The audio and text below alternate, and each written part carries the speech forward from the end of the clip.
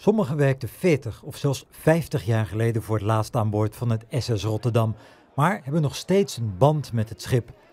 En vandaag is er weer even tijd voor een rondgang over het schip, het praten met oude bekenden en vooral het ophalen van mooie herinneringen. Ja, memorabele momenten is eigenlijk dat als je als uh, jonge man uh, van uh, 20 jaar voet aan wal zet op de Fiji-eilanden. Aanvaring met een walvis in de Middellandse Zee. Tegenwoordig is het heel normaal dat kinderen of jongelui na hun studie gelijk een wereldreis maakten. Maar in de 60 jaar was het heel wat. Als ik thuis kwam met verhalen van de Oriënt of van Amerika, de familie was helemaal buitengewoon geïnteresseerd om dat allemaal te horen.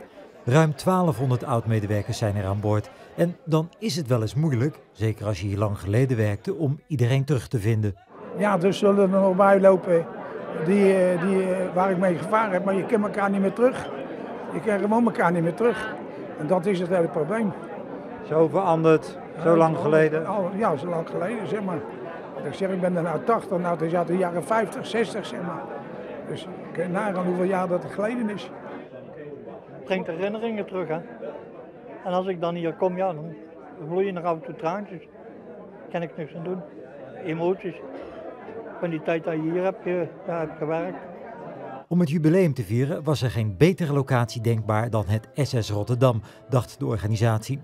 Voor het jubileum van de vereniging is er een speciaal boek uitgekomen met herinneringen van opvarenden. In feite een, een driedubbel uitgave van ons normaal maandelijks magazine, twee maandelijks magazine. Met een mooie opmaak helemaal. En dat wordt dus nu aan alle leden die hier zijn vandaag uitgereikt.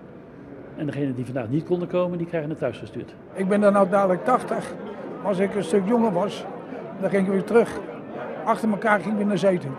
Er is niks mooier als de zee en de vrijheid. Mensen hebben bij de 100 Amerika gewerkt en die zijn besmet met een virus. En dat raak je nooit meer kwijt.